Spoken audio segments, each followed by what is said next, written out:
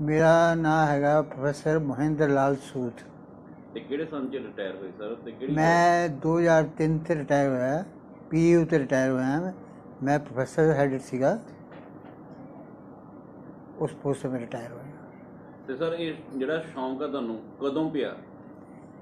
ਵੈਸੇ ਤਾਂ ਤੁਸੀਂ ਕਹਿ ਸਕਦੇ ਹੋ ਜੈਨੇਟਿਕਲੀ ਹੈ ਮੇਰੇ ਜੀਨਸ ਵੀ ਹੈਗਾ ਹੈ ਕਿਉਂਕਿ ਮੇਰੇ ਪੇਰੈਂਟਸ ਨੂੰ ਵੀ ਸੀਗਾ।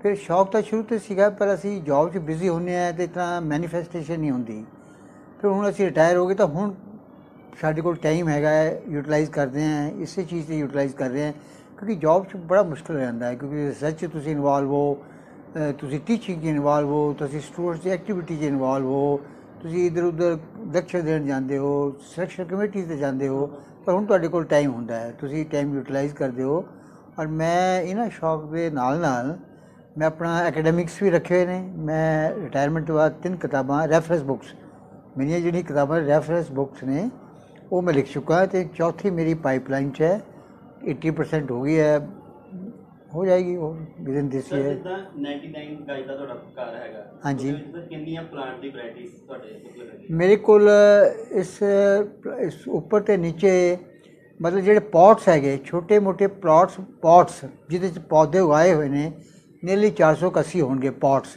ਜਿਹੜੀਆਂ ਵੈਰਾਈਟੀਆਂ ਨੇ ਵੈਰਾਈਟੀਆਂ ਆਫ ਪਲਾਂਟਸ ਹੈ ਇਹ 270 ਦੇ ਕਰੀਬ ਹੋਣਗੇ 270 ਡਿਫਰੈਂਟ ਡਿਫਰੈਂਟ ਕਿਸਮ ਦੇ ਛੋਟੇ ਲੈ ਲਓ ਵੱਡੇ ਲੈ ਲਓ ਔਰ ਸਾਰੇ ਮਤਲਬ ਲਿਵਿੰਗ ਨੇ ਸਾਰੇ ਹੈਲਦੀ ਨੇ ਤੁਸੀਂ ਦੇਖ ਲਿਆ ਕਿਸੇ ਤੇ ਕਿ ਤੁਹਾਨੂੰ ਕੋਈ ਸੁੱਕਾ ਪੱਤਾ ਨਜ਼ਰ ਨਹੀਂ ਆਏਗਾ ਤੁਹਾਨੂੰ ਕਿਸੇ ਤੇ ਕੋਈ ਮਰਿਆ ਪੌਦਾ ਨਜ਼ਰ ਨਹੀਂ ਆਏਗਾ ਖਾਂਦੇ ਪੀਂਦੇ ਕਰਦੇ ਲੱਗਦੇ ਸਰ ਮਤਲਬ ਸਰ ਇਹ ਪਲਾਂਟਸ ਹੈ ਕਿਧਰੋਂ ਕਿਧਰੋਂ ਲੈ ਕੇ ਆਏ ਹੋ? ਪਲਾਂਟਸ ਮੈਂ ਜ਼ਿਆਦਾਤਰ ਜਿੱਥੇ ਜਾਣਾ ਹੈ ਫੋਰ ਐਗਜ਼ਾਮਪਲ ਅਸੀਂ ਬਾਹਰੋਂ ਤੋਂ ਲਿਆ ਨਹੀਂ ਸਕਦੇ। ਬਾਹਰੋਂ ਤੋਂ ਪੌਟਸ ਲਿਆਉਣੇ ਹੈ ਮਲੇਰਕੋਟਲਾ ਤੇ ਲਿਆਉਣਾ ਹੈ। ਲੋਕਲ ਨਰਸਰੀਜ਼ ਮੈਂ ਘੁੰਮਦਾ ਹੀ ਰਹਿਣਾ ਹੈ। ਸਾਰੀ ਨਰਸਰੀਜ਼ ਮੈਨੂੰ ਅੱਛੇ ਫਰੈਂਡਸ ਹੈ ਘੁੰਮਦੇ ਰਹਿੰਦੇ। ਜਾਣਾ ਕਿ ਸਾਰੇ ਨਇਆ ਆਇਆ, ਤੁਸੀਂ ਦੇਖ ਲਓ। ਫਿਰ ਮੈਂ ਚੰਡੀਗੜ੍ਹ ਜਾਣਾ ਹੈਗਾ। ਚੰਡੀਗੜ੍ਹ ਨਰਸਰੀਜ਼ ਹੈਗੀਆਂ ਨੇ, ਉੱਥੇ ਵੀ ਘੁੰਮਦਾ ਰਹਿੰਦਾ। ਉਹਨਾਂ ਨੂੰ ਕਹਿੰਦਾ ਨਈ ਕਿਹੜੀ ਚੀਜ਼ ਹੈ? ਹੁਣ ਜਿਹੜਾ ਕਿ ਕਰੋਨਾ ਦੇ ਚੱਕਰ 'ਚ ਮੈਂ ਨਹੀਂ ਜਾ ਰਿਹਾ। ਮੈਂ ਜਾਣਾ ਹੈਗਾ ਟੈਕਸੀ ਕਰਕੇ ਜਾਣਾ ਹੈ। ਉੱਥੇ ਤੇ ਪਲਾਂਟਸ ਲਿਆਣੇ ਨਏ ਐਡੀਸ਼ਨ ਹੁੰਦੇ ਰਹਿੰਦੇ।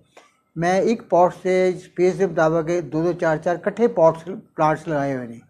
ਇਹ ਨਹੀਂ ਤੁਸੀਂ ਦੇਖਿਆ ਹੋਣਾ ਕਿ ਇੱਕ ਇਵਨ ਜਿਹੜਾ ਡਰਾਇੰਗ ਰੂਮ 'ਚ ਪਿਆ ਹੈ 6 ਪਲਾਂਟਸ ਕਿਸਮ ਦੇ ਪਲਾਂਟਸ ਲਗਾਏ ਹੋਏ ਨੇ। ਜਿੱਤੇ ਡਿਫਰੈਂਟ ਕਿਸਮ ਦੇ ਹੈਗੇ? ਲਗਾਈ ਜਾਓ। ਤੇ ਸਰ ਜਿਸ ਤਰ੍ਹਾਂ ਤੁਸੀਂ ਇਹਨਾਂ ਨੂੰ ਅਲੱਗ-ਅਲੱਗ ਤਰੀਕੇ ਦੇ ਪੌਟਸ 'ਚ ਲਗਾਇਆ ਆਈਡੀਆ ਕਿੱਥੋਂ ਆਇਆ ਇੰਨੀ ਕ੍ਰੀਏਟਿਵ ਇਹ ਤਾਂ ਤੁਸੀਂ ਦੇਖੋ ਜਾਂ ਤਾਂ ਤੁਸੀਂ ਕਹ ਕਿ ਤੁਸੀਂ ਜੋ ਹੁਣ ਮੈਂ ਬਾਹਰ ਜਾਣਾ ਹੈਗਾ ਉੱਥੇ ਤੁਹਾਨੂੰ ਉਹਨਾਂ ਨੇ ਨਰਸਰੀ 'ਚ ਜਿੱਥੇ ਤੁਸੀਂ ਜਾਂਦੇ ਹੋ ਜਾਂ ਉੱਥੇ ਛੋਟੇ ਛੋਟੇ ਪੌਟਸ ਰੱਖੇ ਹੁੰਦੇ ਆ। ਉਹ ਤੁਸੀਂ ਪੌਟਸ ਚੱਕ ਕੇ ਲਿਆਂਦੇ। ਯੂ ਐਸ ਏ ਜਾਂਦੇ ਹੈਗੇ ਆ। ਉਹਨਾਂ ਨੇ ਨਾ ਕਰੋਕਰੀ ਜਿਹੜੀ ਵੇਸਟ ਹੋ ਜਾਂਦੀ ਹੈ ਇੱਕ ਗੁੱਡਵਿਲ ਇੱਕ ਜਗ੍ਹਾ ਹੁੰਦੀ ਹੈ, ਉੱਥੇ ਰੱਖ ਦਿੰਦੇ ਆ। ਉਹ ਸਸਤੀ ਤੁਹਾਨੂੰ ਮਿਲ ਜਾਂਦੀ ਹੈ, ਉਹ ਮੈਂ ਲਿਆ ਨਾ। ਸਾਡੇ, ਮੇਰੇ ਆਪਣੇ ਘਰ ਦੀ ਜਿਹੜੀ ਕਰੋਕਰੀ ਵੇਸਟ ਹੋ ਜਾਂਦੀ ਹੈ ਜਾਂ ਮੇਰੇ ਫਰੈਂਡਸ ਕੋਲ ਉਹਨਾਂ ਨੂੰ ਕਿਹਾ ਹੋਇਆ ਕਿ ਤੁਸੀਂ ਸੁੱਟਣੀ ਨਹੀਂ, ਤੁਸੀਂ ਮੈਨੂੰ ਦੇਣੀ ਹੈਗੀ। ਅਸੀਂ ਉਹਨਾਂ ਤੇ ਤੁਸੀਂ ਦੇਖਿਆ ਹੋਣਾ, ਕੈਟਲ ਜਿਹੜੀ ਖਰਾਬ ਹੋ ਗਈ, ਕਿੰਨੇ ਅੱਛੇ ਪੌਪ ਲੱਗ ਰਹੇ ਨੇ ਪਲਾਂਟਸ ਤੇ ਸਰ, ਜਿਹੜੇ ਜਿੱਦਾਂ ਤੁਸੀਂ ਆ ਪੁਰਾਣੇ ਸਿੱਕ- ਅਹ ਸਿੱਕੇ ਵਗੈਰਾ ਕਲੈਕਟ ਕਰਦੇ ਹੋ, ਤੇ ਇਹ ਸ਼ੌਂਕ ਨੂੰ ਇਹ ਇਸ ਤਰ੍ਹਾਂ ਹੈਗਾ ਕਿ ਇਹ ਇੱਕ ਤਾਂ ਅਸੀਂ ਜਿਸ ਤਰ੍ਹਾਂ ਬਾਹਰ ਜਾਂਦੇ ਹਾਂ, ਉੱਥੇ ਸਿੱਕੇ ਹੋ ਜਾਂਦੇ। ਬਾਕੀ ਜਿਹੜੇ ਤੁਸੀਂ ਦੇਖਿਆ ਹੋਣਾ, ਪੁਰਾਣੇ ਇੰਡੀਅਨ ਸਿੱਕੇ ਸਾਡੇ ਘਰਾਂ 'ਚ ਪਏ ਹੋਏ ਸੀ। ਪੇਰੈਂਟਸ ਸੰਭਾਲ ਕੇ ਰੱਖਦੇ ਸੀਗੇ। ਪਤਾ ਨਹੀਂ ਕਿਸ ਵੇਲੇ ਆਨੇ ਦਵਾਨੀ ਦੀ ਜ਼ਰੂਰਤ ਪੈ ਜਾਣੀ। ਉਹ ਮੇਰੇ ਘਰ 'ਚ ਪਏ ਹੋਏ ਸੀ। ਕਾਫੀ ਵੱਡੀ ਥੈਲੀ। ਉਹ ਵੀ ਲੈਂਦੀ ਆਪਣੇ ਬਾਹਰ ਦੇ ਵੀ ਸਿੱਕੇ ਸਾਰੇ ਇਕੱਠੇ ਕਰ ਲਏ। ਹੁਣ ਕਰੀਏ ਕੀ ਇਹਨਾਂ ਦਾ? ਇਸ ਤਰ੍ਹਾਂ ਹੀ ਪਏ ਹੋਏ ਸੀ। ਅਸੀਂ ਤੁਸੀਂ ਦੇਖਿਆ ਇੱਕ ਤਾਂ ਫਰੇਮ ਬਣਾਤਾ ਇਹਨਾਂ ਦਾ। ਇਹ ਜਿਹੜਾ ਫਰੇਮ ਹੈਗਾ ਇਹ ਦੋ ਸ਼ੀਸ਼ਿਆਂ ਦੇ ਵਿੱਚ ਹੈਗਾ ਫੈਵੀਕੋਲ ਨਾਲ ਚਿਪਕਾਏ ਹੋਏ ਨੇ ਇਸੇ ਤਰ੍ਹਾਂ ਜਿਹੜੇ ਬਚ ਗਏ ਹੋਰ ਇੱਕ ਤੁਸੀਂ ਦੇਖਿਆ ਇੱਕ ਸਿੰਘਾਸਨ ਜਿਹਾ ਬਣਾਤਾ ਇੱਕ ਉੱਪਰ ਭਗਵਾਨ ਜੀ ਰੱਖਤੇ ਠੀਕ ਹੈ ਇਹ ਨਹੀਂ ਕਿ ਮੱਥਾ ਟੇਕਣ ਦੇ ਪੁਆਇੰਟ ਹੋ ਜਸਟ ਡੈਕੋਰੇਸ਼ਨ ਪਰ ਯੂਟਿਲਾਈਜੇਸ਼ਨ ਹੁਣ ਵੀ ਬਚੇ ਹੋਏ ਨੇ ਦੇਖਦੇ ਹਾਂ ਕਿਹੜਾ ਆ- ਆ ਜਾਏਗਾ ਸਾਨੂੰ ਆਈਡੀਆ ਅਸੀਂ ਜ਼ਰੂਰ ਯੂਟਿਲਾਈਜ਼ ਕਰ ਲਾਂਗੇ ਸੁੱਟਣੇ ਕਾਹਨੂੰ ਹੈਗੇ हाँ जी क्या नाम है आपका मेरा नाम है डॉक्टर अरुण सू और मैं सीएमसी साइकाट्री डिपार्टमेंट में काम करती थी। वहाँ पे मैं सीनियर कंसल्टेंट थी और मेरी स्पेशलाइजेशन है फैमिली एंड मेरिटल थेरेपी मैंने 97 70 1974 में ज्वाइन की थी सीएमसी और दिसंबर 2012 में मैं वहाँ से रिटायर हुई जैसे जो आपके हस्बैंड है उनको हम प्लांट लवर कह सकते हैं। हम्म। तो सारा वक्त सारा दिन मतलब प्लांट के साथ ही निकलता उनका। तो आपको टाइम देते हैं? हाँ हाँ ऐसा तो नहीं है। सारे दिन में मतलब चार एक घंटे इनके प्लांट्स के साथ निकलते हैं। तो बाकी समय तो घर में ही है।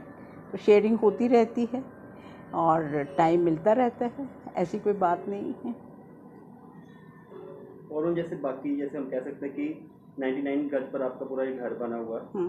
तो कैसे मतलब मतलब वो तो बिज़ी रहते हैं उनके साथ तो आप कैसे मेंटेन कर करके रखते सारा? मेंटेनेंस की ऐसे है कि दो तीन घंटे तो मामूली बात है घर की डस्टिंग के लिए लगते हैं। तो बाकी सफ़ाई जो है वो तो मेड करके जाती है पर डस्टिंग जो है वो मैं खुद करती हूँ वो मेड से नहीं करवाती हूँ। और उसके बाद थोड़ा किचन का काम हो गया, उसमें टाइम चला जाता है। जो बाकी टाइम होता है, उसमें मैं आमतौर से कोई बुक्स पढ़ ली किंडल के ऊपर, या फिर कोई हिस्टोरिकल टीवी शोज़ देख लिए, क्योंकि हिस्ट्री में मुझे इंटरेस्ट है। कभी कभार बॉलीवुड की या इंग्लिश मूवीज़ देख ली तो पॉलिटिकल डिस्कोर्सेस करंट अफेयर्स जो हैं, ख़ास करके Al Jazeera C N N उसमें मुझे ज़्यादा इंटरेस्ट है। आप उनको क्या मैसेज देना चाहोगे? जैसे आपका एज ग्रुप है हम्म। तो मतलब सारा दिन घर पर है कि या अखबार पढ़ लेंगे या टीवी देख लेंगे उनको मैम क्या मैसेज देना चाहते हो? मेरा मैसेज सिर्फ़ ये है कि जो भी कोई आपके मन में इच्छा है उसको कंस्ट्रक्टिवली कैसे हमने यूटिलाइज करना है? और जो भी शौक़ जैसे कि आ, मेरी बड़ी इच्छा थी कि मैं तबला सीखूं तो मैंने इस एज में अब तबला सीखना शुरू किया है। तो मैं उसके ऊपर थोड़ा सा टाइम स्पेंड करती हूँ। तो जो शौक़ आपके, जब आप जॉब में हैं, आप नहीं कर पाते हैं तो उन शौक़ को पूरा करने के लिए अभी समय है, उसमें थोड़ा सा समय निकालना चाहिए, वो करना चाहिए। तो यही, मैं तो यही बोलना चाहूँगी। प्लस जो इंटरेस्ट है, उसको आप मतलब एक्सप्लोर करें और उसके ऊपर काम करें। वो आपको हमेशा यंग रखेगा। Subscribe to our YouTube channel News DNN by clicking the bell icon. Don't forget to like, comment, and share.